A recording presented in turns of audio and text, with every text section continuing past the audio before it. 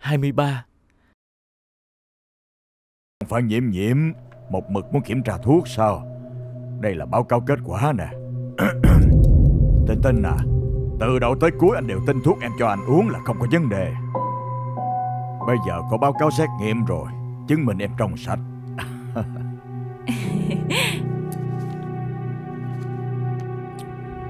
Anh hiểu em là tốt rồi. Tinh tinh à. Nhiễm nhiễm Cũng chỉ vì lo cho sức khỏe của anh Nên mới làm lớn chuyện thôi. Nên em tuyệt đối đừng có chấp nhất nó nghe hả? Anh yên tâm đi. Báo cáo này em tự xử lý đi.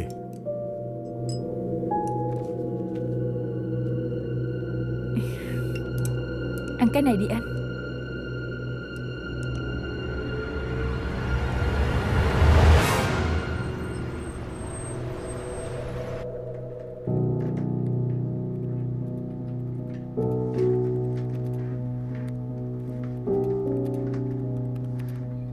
kế tôi kêu cậu sửa đâu. Cái này giống hệt bản trước mà. Cậu sửa chỗ nào chứ? Tôi không sửa. Cậu không sửa. Tôi nói với cậu rất rõ ràng là phương án thiết kế này Chúng tôi không duyệt, không công nhận rồi mà. Hạ Phó Tổng Ở đây có bao nhiêu quản lý cấp cao thuộc các bộ phận? Tôi nghĩ ý kiến của một mình cậu Không thể đại diện cho mọi người.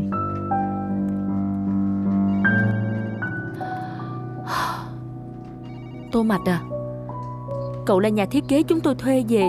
Phiền cậu làm tốt bổn phận của mình thôi là đủ rồi. Cậu có tư cách gì để chất vấn chuyện nội bộ của công ty chúng tôi vậy chứ? Đúng vậy. Công việc của tôi là thiết kế. Chỉ có điều Hình như tôi chỉ cần đối diện với người phụ trách dự án là đủ rồi. Cậu là người phụ trách dự án sao? Tô Mạch Xin lỗi tôi đến trễ. Ban Tổng Sao rồi? Buổi họp tới đâu rồi? Ban Tổng. Dường như Hạ Phó Tổng có chút ý kiến về thiết kế của cô Tô. Nhưng cô Tô kiên trì bảo vệ ý kiến của mình. Vậy sao? Xem ra hai người bạn học cũ này Cạnh tranh với nhau thật rồi. Nhưng phương án thiết kế tôi đã xem qua Thấy cũng rất hứng thú Rất phóng khoáng Cũng có phong cách hiện đại. Tôi vô cùng thích. Không phải càng hiện đại thì càng tốt đâu Nam Giao trong quy hoạch của chính phủ thành phố mang tôn chỉ của năng lượng mới, xanh tươi tối giản, thân thiện môi trường. Bản thiết kế này đặt cạnh môi trường tự nhiên và phong cách kiến trúc xung quanh có xung đột quá lớn. Phải xung đột thì mới dễ nhận diện Trung tâm văn hóa của chúng ta Tương lai sẽ đối diện với những cuộc thi hàng đầu Và tiết mục biểu diễn quốc tế hóa Nó cũng đại diện cho cửa sổ văn hóa của thành phố ta Không có yếu tố tiên phong thì không ổn Nhưng mà- Mọi người đều xem phương án thiết kế hết rồi chứ Dạ, Dạ, xem rồi. Xem rồi. Được Nếu đã tồn tại ý kiến bất đồng. Vậy chúng ta Dân chủ một chút đi. Giơ tay biểu quyết. Được. Ai không đồng ý bản thiết kế mà giơ tay? Đồng ý với bản thiết kế này mà giơ tay.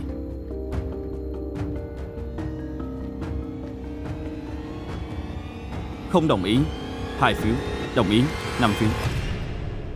Xong rồi Vấn đề giải quyết rồi.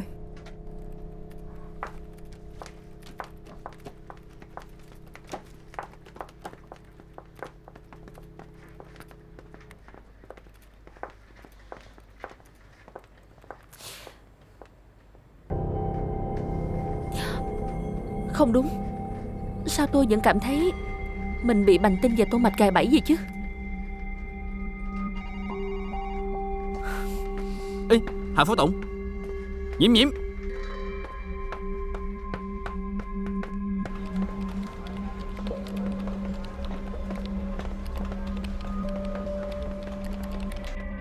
Không ngờ bà lại thông đồng với tô mạch Mang dự án Nam Giao ra làm trò đùa.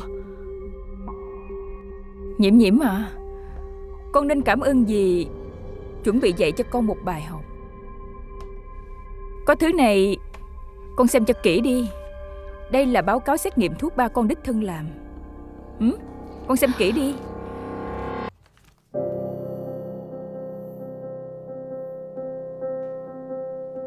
Trong báo cáo viết rõ rành rành Là không có vấn đề gì hết. Tôi không tin. Con không tin thì có thể đi hỏi ba con. Ông ấy đưa nó cho gì Cho nên mấy bằng chứng đó của con không đáng một xu nào hết con có biết không? Ba con còn nói tờ giấy bỏ này giao cho dì xử lý. À, bây giờ dì phải cùng Tô Mạch đi dự tiệc chúc mừng. Đây là bài học thứ hai dì dạy cho con. Chỉ có lợi ích là vĩnh hằng, hiểu chưa vậy?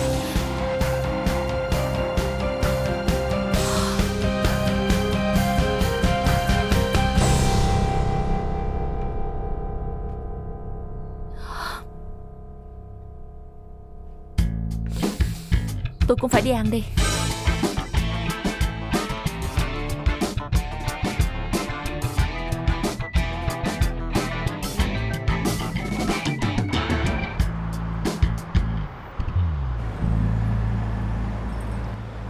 Nào, Tô Mạch, chúc chúng ta hợp tác vui vẻ. Tôi cai rượu rồi. Cai rồi sao? Có kế hoạch sinh con phải không? Nếu định sinh con thì không nên uống rượu đâu. Vậy thì tôi uống trà với cô, hợp tác vui vẻ.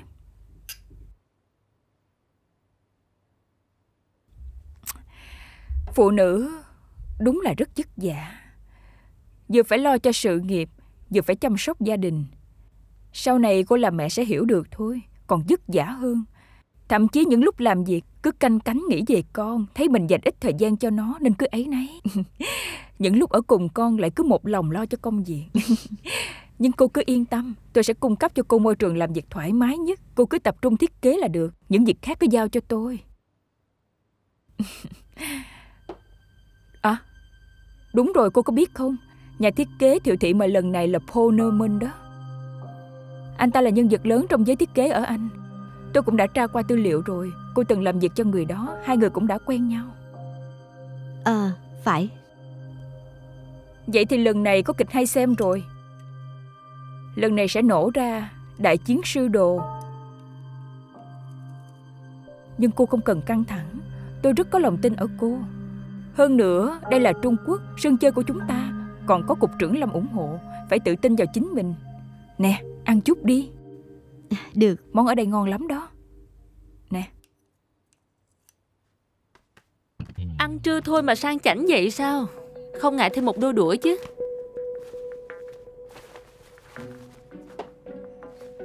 Cảm ơn.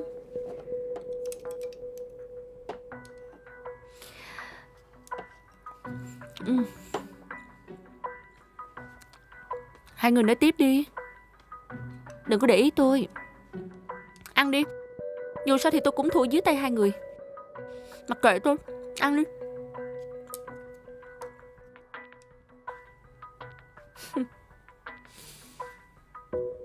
Tôi thật sự không ngờ. Hai người còn ờ, có thể ngồi cùng bàn cơm ăn với nhau. À. Dì có biết là Mấy trò tôi dùng để chơi gì lúc trước Đều là tô mạch dạy tôi không? Lợi hại không? Lợi hại ha.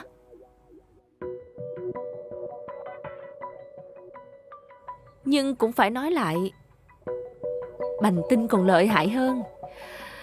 Nhờ phúc đức của bà ấy Xém chút nữa thì tôi chết ở bên anh luôn rồi. Cậu đó. Đừng có thấy bà ấy ngoài mặt Thì vui vẻ hòa đồng. Kỳ thật bản lĩnh đâm dao sau lưng. Không có thua kém cậu đâu. Tô Mạch Tôi còn có cuộc họp Tôi về trước nha. À, Dì đừng có đi. Còn nhiều đồ ăn vậy mà gì Nhớ thanh toán nha. Tôi không có mang theo tiền. Ừ. Cậu đi đâu vậy? Ngồi đây ăn đi chứ. Cậu có thể ngồi ăn chung với kiểu người như Bành Tinh Mà lại không thể ngồi ăn với tôi sao? Sao vậy? Chột dạ hả? Sợ rồi sao?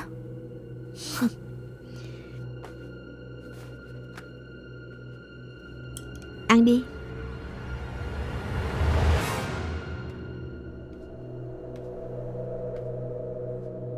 Tôi đã giao Hạ Nhiễm Nhiễm vào tay của cậu rồi. Cậu lại để cho nó làm càng như vậy sao? Cậu nói tôi nghe. Hai người phát triển đến đâu rồi? Hai hôm nay nó không về nhà Là ở cùng với cậu sao? Cô nói hai hôm nay sao?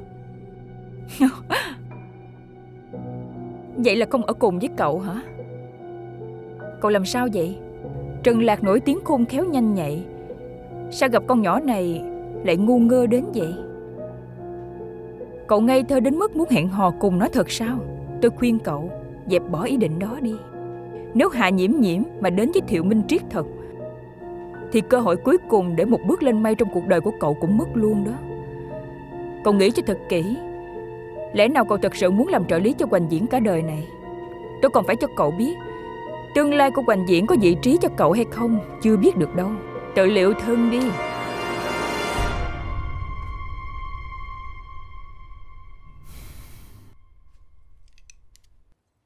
Tô Mạch, rốt cuộc cậu sợ tôi lắm hả?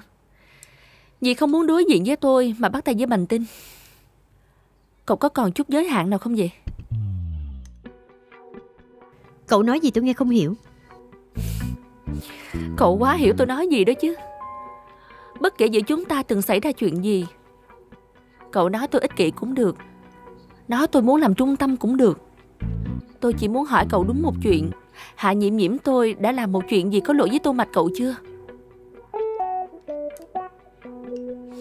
Không có phải không?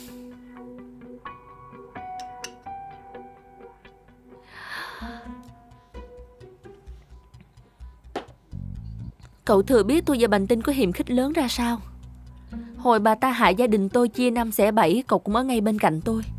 Bây giờ cậu không giúp tôi đã đành. Tại sao lại còn đứng về phe bà ta? Không ngờ cậu lại đứng cùng phe bà ta. Cậu có còn nhớ năm đó Là Bành Tinh chia rẽ gia đình tôi không? Ba con về rồi. Về rồi sao? Ba Ba đi đâu vậy? Ờ Bà phải đi công tác. Vài ngày nữa sẽ về ha? Ba Ba Ba lại đi tìm con hồ ly tinh đó sao? Hồ ly tinh Ba, cái gì con chứ? không cho ba đi. Có nói linh tinh nữa có được không? Ba Ba đừng đi được không ba? Rốt cuộc ba định đi đâu Bà vậy? phải đi họp Bà phải đi công tác mà. Bà đã nói với con rồi. Rốt cuộc ba đi mấy ngày vậy hả ba? Buông ra đi Để bà lên xe. Ba Được rồi nhiễm Rốt nhiễm cuộc ba mà định đi đâu vậy Ngoan nghe lời đi Vài ngày nữa bà sẽ tới đón con hả Ba Ba Ba đi mấy Được ngày vậy ba rồi đừng có cản nữa mà Nhanh lên Ba ơi Ba Ba không thể bỏ mặt con được Ba 凝视着那片被风吹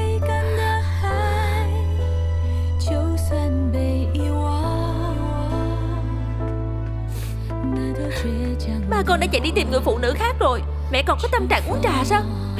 Mẹ mau đi gọi ba về đi. Trái tim ông ấy đã không còn ở đây nữa. Mẹ gọi về có ích gì? Đều tại mẹ. Nếu như mẹ Mà tốt với ba con một chút Thì ông ấy sẽ đi sao? Mẹ Mẹ đúng là một loại giỡn máu lạnh mà. Con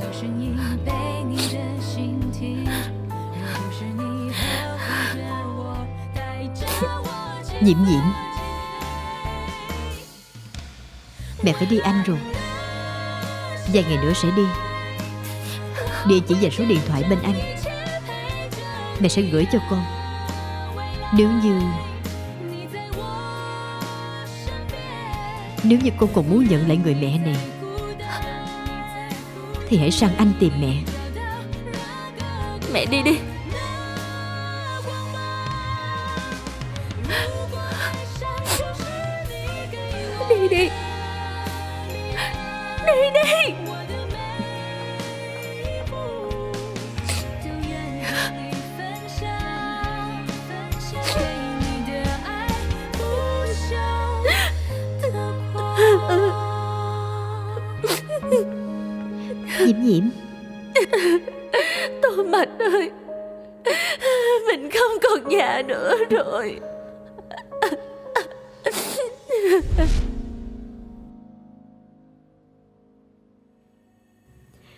nhiễm nhiễm Cậu có một ưu điểm, Chính là trí nhớ rất tốt.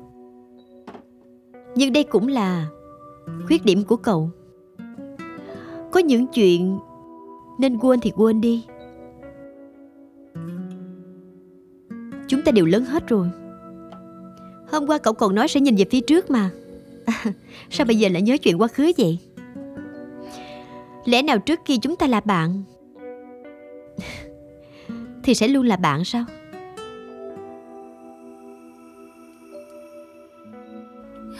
Tô Mạch Cậu trở nên như vậy từ lúc nào vậy? Tôi lúc nào mà chẳng vậy. Sau này tôi cũng sẽ như vậy. Hà nhiễm nhiễm Nếu như cậu sợ tổn thương Thì phiền cậu sau này nhìn người rõ một chút Bất kể là bạn nam hay là bạn nữ. Người nào không nên kết bạn Thì đừng kết giao mình muốn đi du học. Nhưng mình cũng không nỡ xa anh ấy. Nhiễm nhiễm, Nếu là cậu Cậu sẽ chọn gì? Tô Mạch à Nếu như mình là cậu, Mình nhất định sẽ đi du học. Gia đình họ xem thường cậu, Chẳng phải là vì nhà cậu nghèo sao? Đi du học khiến cậu trở nên tốt hơn. Nếu như anh ấy yêu cậu, Anh ấy nhất định sẽ chờ cậu. Nếu như anh ấy không yêu cậu Cậu làm vậy cũng có ý nghĩa gì chứ? Cậu nói vậy là sao? Cậu giới thiệu Minh Triết Cũng không thật lòng đúng không? Tôi thấy Hai người ở bên nhau Không xứng đôi chút nào hết. Tôi khuyên cậu Đừng vì giận dỗi nhất thời Mà tóm đại một người. Đến cuối cùng chỉ có cậu thiệt thôi.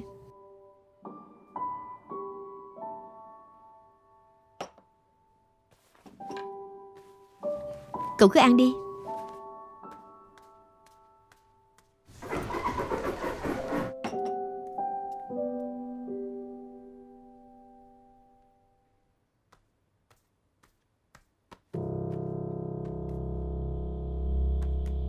Giao cô ấy cho anh đó.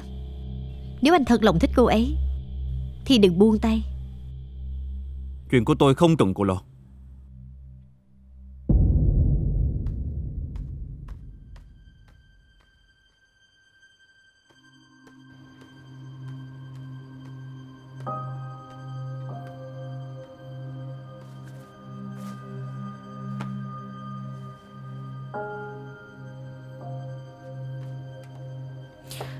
Sao vậy? Anh cũng muốn đến dạy dỗ tôi sao? Đừng uống rượu một mình nữa. Tôi uống cùng cô. Được. Nào.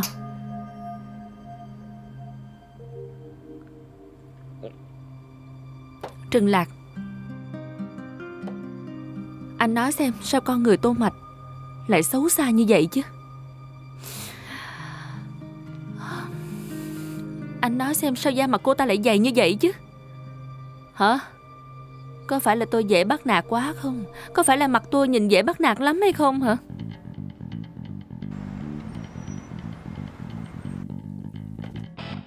Cái này được. Chú à, chú nhìn kìa. Chú, trời ơi, chú nhìn thấy chưa? Đã hơn một triệu lượt người xem rồi. Mà trang chủ của chúng ta có thêm 100 ngàn lượt thích nữa đó Trời ơi, xem nè, đang tăng lên quá trời luôn á. Mấy chủ, mấy chủ của chúng ta hoàn toàn tê liệt rồi. Đó. Tiếp tục cố gắng. Uhm. Trời ơi Trời ơi, kìa. đang tăng kìa. Trời ơi, còn đang tăng á. Không phải. Tốt quá rồi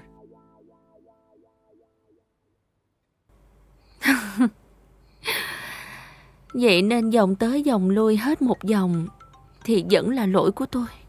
Nhiễm nhiễm Cô không có lỗi. Lỗi là ở tôi. Lỗi của tôi là Chuyện tôi cho rằng vốn có thể bỏ qua Thật ra lại không thể. Có vài người tổn thương anh một lần Chỉ cần anh cho thêm một cơ hội Thì vẫn sẽ tổn thương anh lần thứ hai thôi.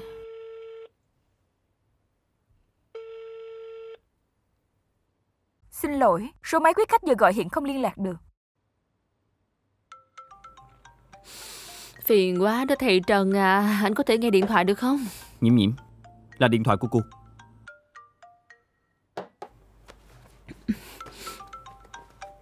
Xin lỗi nha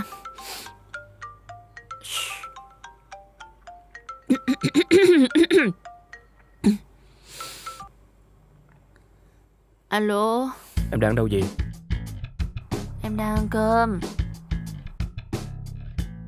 Em uống rượu sao? Không có. Em ăn ở đâu? Ăn với ai? Sao anh nhiều chuyện quá vậy? Có thấy phiền không? Anh có chuyện gì Rượu của tôi đến rồi kìa. Mau lên. À nhiễm nhiễm anh nói cho em biết em không được uống rượu Em có nghe thấy không? Alo? Nào nào nào nào nào. Đây thầy Trần. Đừng uống nữa. Cô say rồi. Tôi không sao. Dù sao gì sắp tới cũng không cần tới tôi. Anh cứ để cho tôi thoải mái. Nè. Đừng uống nữa Trần Lạc. Anh cũng muốn bắt nạt tôi sao?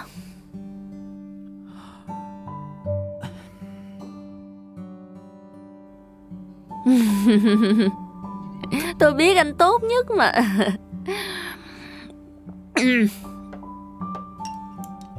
Thầy Trần. Tôi kể anh nghe chuyện cười nè. Anh có biết gì sao không? Khủng long đã tuyệt chủng không? Ừ là bởi vì Trong truyền thuyết Vào đúng giây phút thiên thạch gia vào trái đất Chúng ta đã nhìn thấy nguyên một vườn sao băng. Và đã ở đó cầu nguyện.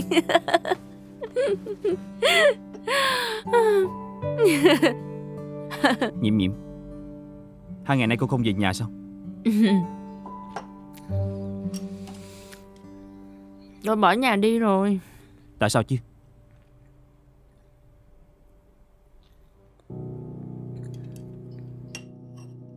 Còn không phải là vì chuyện trong nhà sao?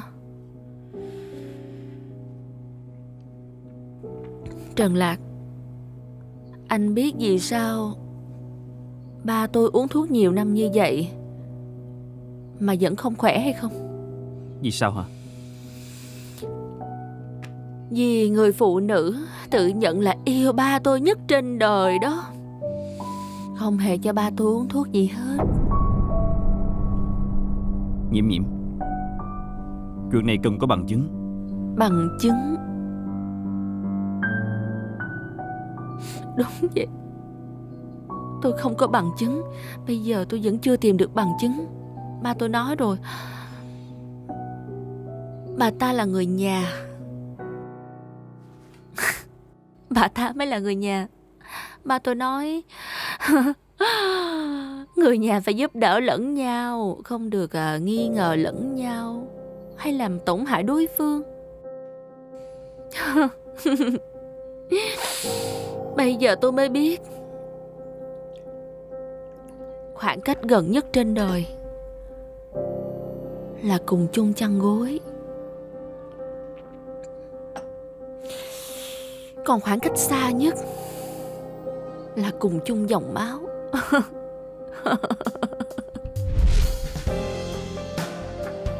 Cậu đừng quên Cậu muốn phát triển ở Hoành Diễn Thì chỉ cần dựa vào một câu nói của tôi. Còn nữa Mẹ cậu nằm trong bệnh viện Cần có một khoản tiền lớn Khoản tiền này sẽ là do tôi bỏ ra. Được rồi Không nói nữa. Uống rượu Cạn ly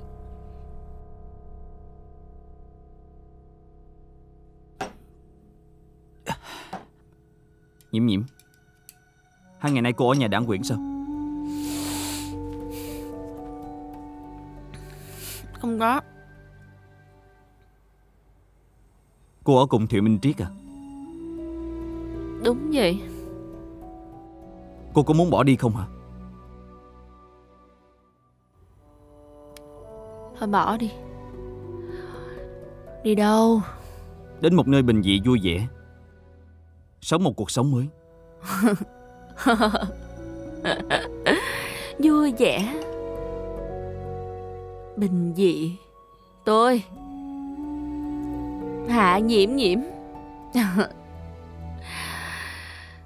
Từ lúc sinh ra tới giờ, tôi nghĩ cuộc sống của tôi chưa từng bình dị, chưa từng vui vẻ. Anh kêu tôi đào một cái hố tự chôn mình đi, tự giấu mình đi. Dù bên ngoài xảy ra chuyện kinh thiên động địa gì, anh đều kêu tôi phải ở yên trong đó vui vẻ trải qua cuộc sống của mình. Anh nghĩ có thể không? Anh nghĩ tôi có thể sống như vậy không? Tôi còn phải chăm sóc ba tôi nữa.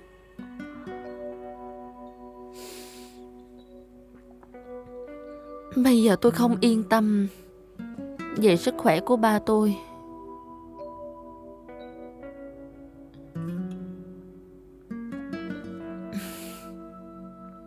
Ôi, trời ơi, thầy Trần à Anh không thể cả ngày câu có mặt mày được đâu. Anh phải cười lên, Nếu không là sẽ già đi đó, Hả?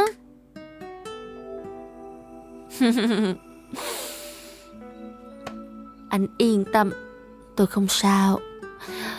Hôm nay tôi chỉ uh, uống chút rượu Lãm nhảm mấy câu thôi. Tôi sẽ không bỏ cuộc đâu.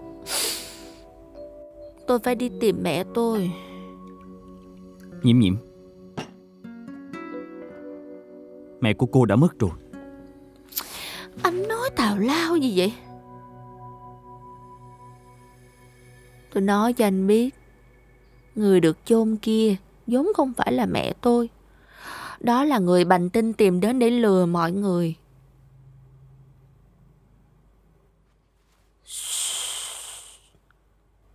Đây là bí mật động trời đó. Tuyệt đối đừng nói với người khác. Nhiễm nhiễm Cô muốn trả thù đến vậy sao? Ừ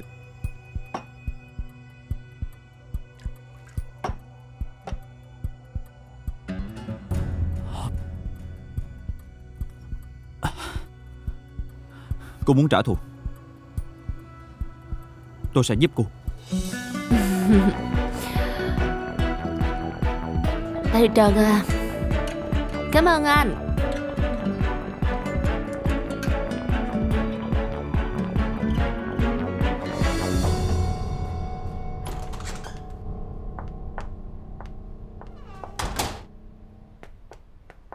Tôi Mạch Ủa Anh về sớm vậy? Cửa hàng không bận hả?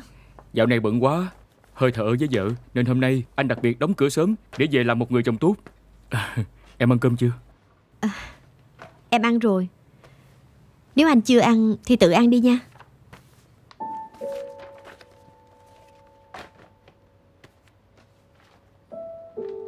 Em còn phải dạy thiết kế nữa. Trời ơi Công việc cũng không thể dội được mà. Ừ? Nè đợi anh lát anh nhớ lúc ở bên anh Em thích nhất là hoa tươi. Nên hôm nay anh đã đi mua hoa hồng trắng. Em thích không? À, em còn rất nhiều tranh phải vẽ nữa.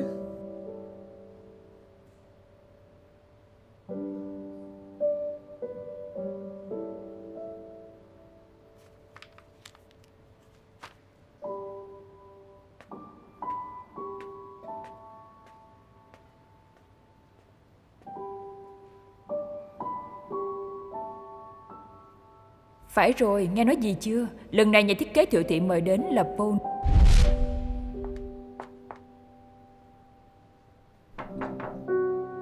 Vào đi. Anh Newman, tôi đã thực tập ở công ty thiết kế của anh 3 năm. Đã tham gia rất nhiều dự án quan trọng của công ty, anh cũng biết mà.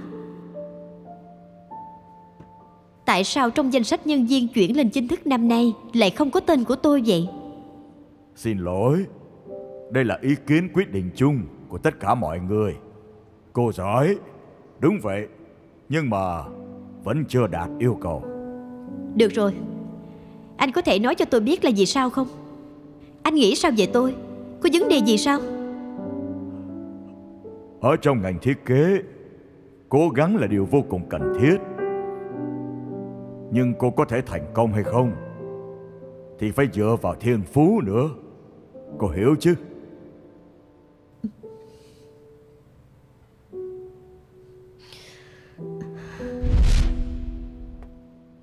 Tô Mạch Sao vậy? Không được khỏe hả? Không sao.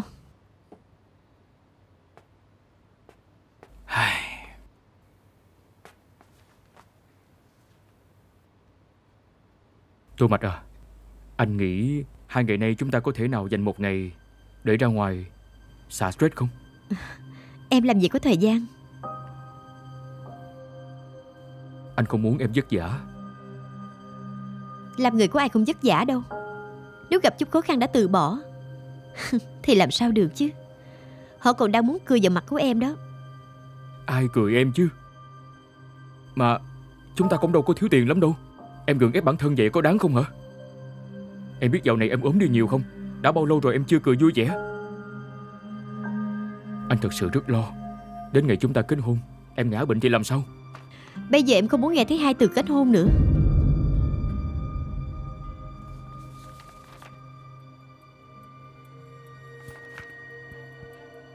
Hướng An. Chúng ta hủy bỏ hôn lễ được không?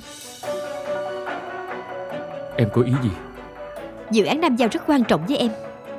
Anh chưa từng nghĩ rằng trên đời này có chuyện gì còn quan trọng hơn hôn lễ của hai chúng ta.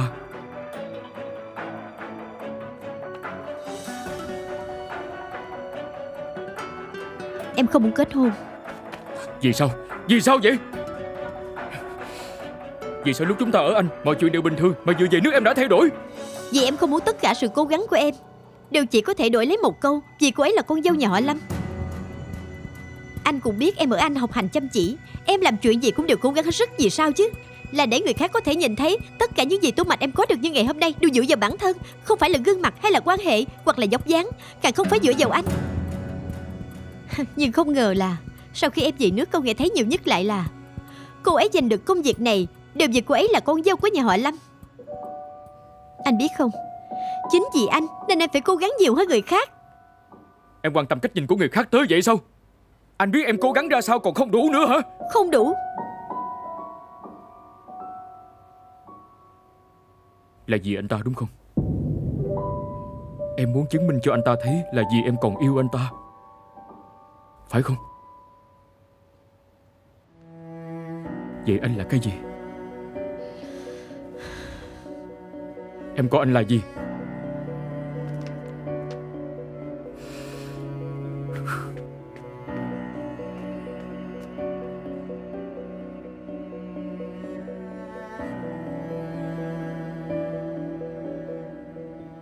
Nhiễm nhiễm. Từ từ thôi Anh Từ không từ cần thôi. đỡ tôi. Từ từ thôi. Tự đi cho anh coi Được rồi được rồi. Từ từ thôi. Được đi Từ từ thôi mà. Đừng. Từ từ thôi. Hai, ba. Anh không có mắt hả? Không sao chứ. Hả Đại ma dương đuổi theo tôi kìa Hả, Nhiễm Nhiễm? Mà cứu tôi với. Em qua đây. Không à. Mau lên xe. Không lên. Anh hiểu Nhiễm nhiễm nói không muốn đi. Sao lại đánh người vậy Thiệu Minh Trần Triết Thầy Trần Đừng động vào người phụ nữ của tôi. Anh nhớ đó. Bỏ ra. Lên xe cho anh. Bỏ ra coi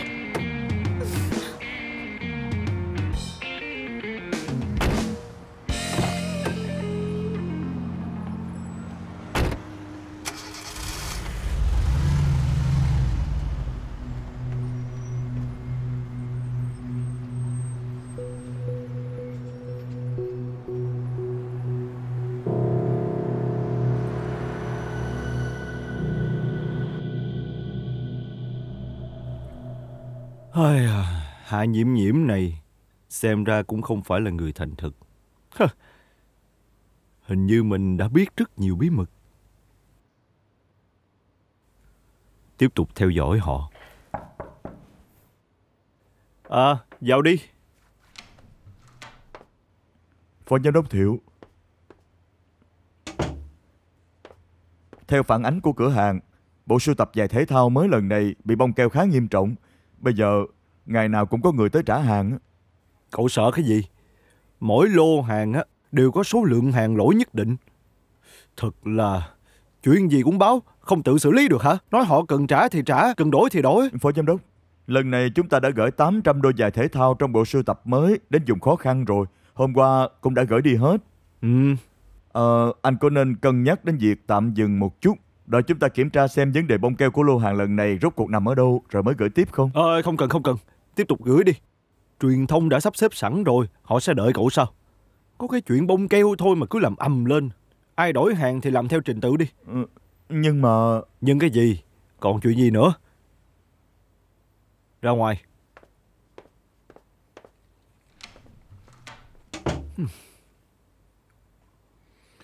Hạ nhiễm nhiễm.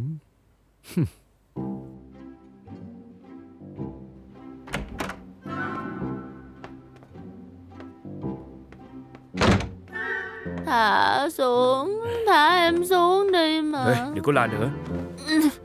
À, Nằm yên đó. Sao anh có thể đối xử với em như vậy? À, Làm vậy là không tôn trọng người khác đó.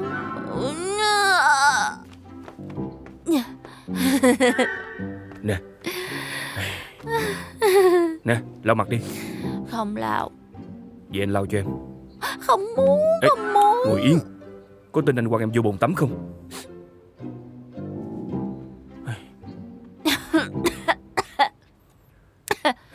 Ban ngày đi làm sao lại uống nhiều như vậy chứ? Có phải công ty đã gặp chuyện gì không vui không? Liên quan đến tô mạch hả? Tiểu thư hồ ly đã bắt tay với người phụ nữ kia. Tiểu thư khủng long lại bị phản bội. Hai người có gì hiểu lầm sao? Trên đời này làm gì có nhiều hiểu lầm như vậy? Ê ngồi yên Ngồi yên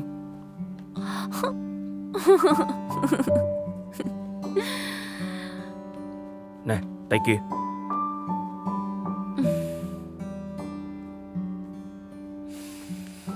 Thì Minh Triết Anh thích em thật đó. Anh thật là quan tâm em Ê hả? ngồi yên đi. Ê Cô ấy rất đẹp sao Ai chứ? Bạn gái cũ của anh. Ờ. Ừm.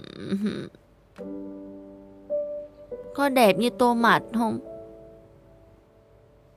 Ừ. Anh còn yêu cô ấy không? Hả? Nếu anh vẫn còn yêu cô ấy Thì nên ở bên cô ấy. Đây không phải là chuyện của em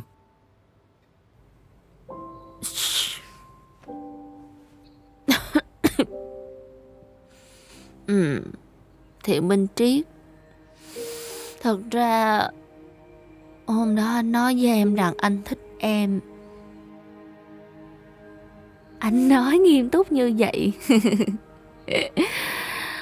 Suýt nữa là em tin anh rồi. Chỉ thiếu chút nữa thôi. Nhưng em cũng biết Là anh đang lừa em. Em biết là Anh chỉ thương xót em thôi. Mặc dù vậy Em muốn nói cho anh biết. Hạ nhiễm nhiễm em Không muốn trở thành giai phụ trong câu chuyện của người khác nữa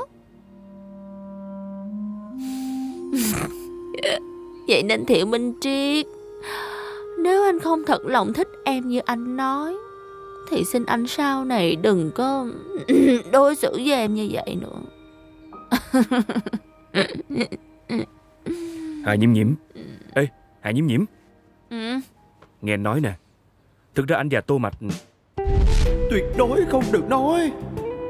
Tại sao Vì một tên Lâm Hướng An Mà lão đại đã khép kín trái tim của mình Buông thả bản thân suốt tận 4 năm trời. Nếu như mà cậu ấy biết á Chú và Tô Mạch từng yêu nhau Cậu ấy sẽ đau lòng lắm.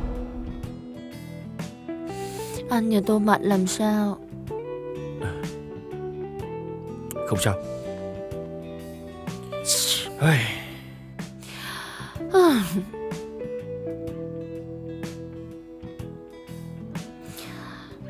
Thì Minh Triết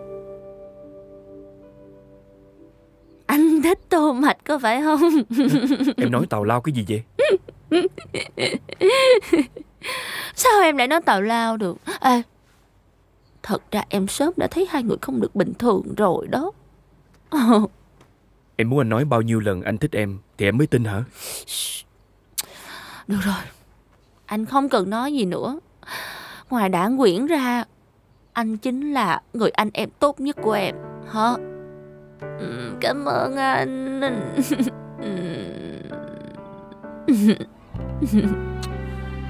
Ê, Sắp bị em làm tức chết nè.